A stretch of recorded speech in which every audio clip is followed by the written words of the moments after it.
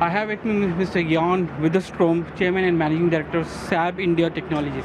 Jan, thank you for joining us on Bloomberg Quint. To begin with, uh, I just start off with the new uh, RFI which has come in for the 110 aircrafts, and I understand that Saab would be a, a contender for that. Yes, that's correct. We are uh, glad to see that the uh, the process has started, and we um, just received it. So we are in the middle of analyzing and reading, and uh, really looking forward to respond to the Indian Air Force. Uh, you will be uh, partnering with uh, an Indian partner, Adani, in this, right? Yes, we, uh, as we said before here, we uh, we are looking at building a partnership with uh, Adani, and but of course we also need to look at the uh, the overall requirements and how the SP process is evolving. So uh, currently we are we are looking forward to the process, and we will monitor how that is going along.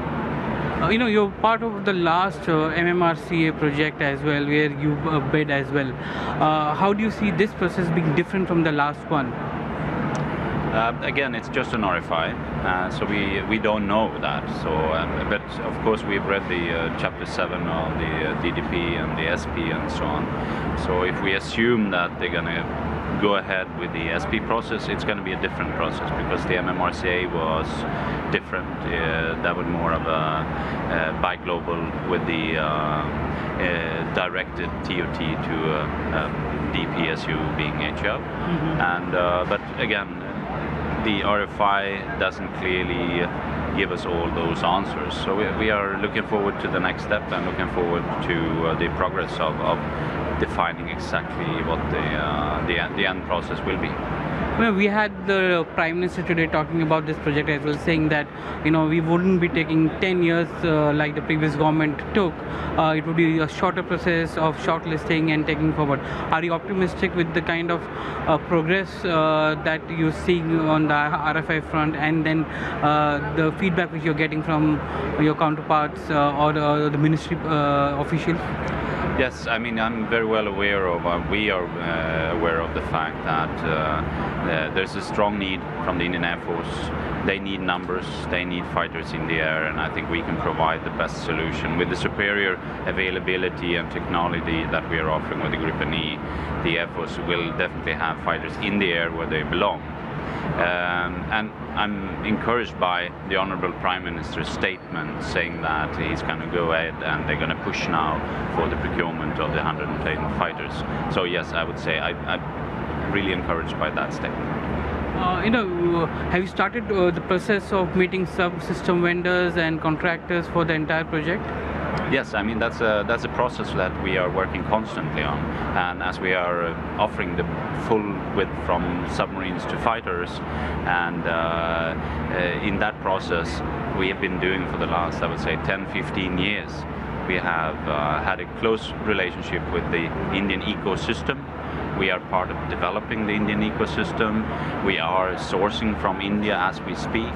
We earlier talked about the VSHORAD system where we already have started to source from India to supply uh, to other customers on the globe regarding that system. Uh, as far as the partnership with Adani is concerned, uh, the, it's a joint venture, I understand. Uh, uh, how, how is it going and how much uh, of capital will you be putting in once uh, this deal goes through? Again, I couldn't comment on that because we don't know how this will end. But uh, so far, I'm very happy with the cooperation. We uh, jointly are looking into this now, and we have to see where the process ends before we can do any statement on what where this is going to end. You have offered transfer of technology as well as uh, assembly in India of Gripen E. You know, you uh, you have your competitor Lockheed Martin also saying the same thing that transfer technology and make in India for that. Uh, aside of that, uh, you know, what else is a stronger uh, thing which Gripen has, which uh, you know the F-16s don't have? I mean, when we talk about the technology transfer, it's not just technology transfer. We are offering a lot more than just moving a uh, second-hand production line from Sweden to India. We are offering to set up the world's most modern aircraft uh, capability in India developing the ecosystem, not just for today but also for tomorrow. We, we are offering capabilities to India, not just technologies. And that's a big difference there. The capability to take Indian aerospace to the next generation. We're offering the, our support to India's next generation fighters.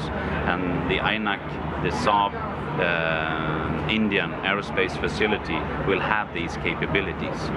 So, irrespective of whether uh, the transfer of the, uh, the order goes to or not, will you be going ahead of uh, bringing that capability into India and making India one of the export hubs for Gripen going forward? Is that one of the uh, things which you uh, which you have in mind? Investments, the basics for investments is ROI, re- return on your investment, and building up a, uh, a new aerospace ecosystem. That's a uh, heavy investment, I would say. So of course we are dependent on on the uh, on the order intake in that perspective.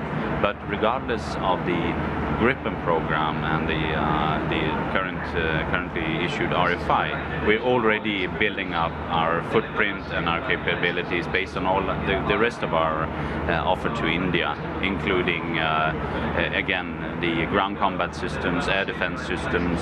We have a R&D center in Hyderabad, which is a big success, and we're growing that as well. So big portions of we what we're now offering in uh, in terms of Gripen E, in terms of uh, our submarines, is actually developed in India by Indian engineers. So that's something that we will do regardless. You spend. Uh, you told us that you know 20 to 25 percent of your revenues is spent in R and D. Yes. Uh, uh, this in R and D center at Hyderabad is is it one of the biggest out of outside Sweden for you? Yes, it is, and it's also so that uh, we've taken it to the next level. So the kind of uh, uh, technology level that we are developing in Hyderabad, uh, that's fairly unique. We are working with, with the concept we call it home markets. So of course Sweden, uh, Australia, and some of the other major markets we consider it as home markets where we build up local R&D capabilities. But we we also now aiming at making India our next home market, and that's why we are putting in this effort and investing heavily into R&D in into India. Uh, Jon, thank you very much. Uh, you have a very, very long bidding war ahead of you, uh, and all the best for that. Thank you so much. Thank you.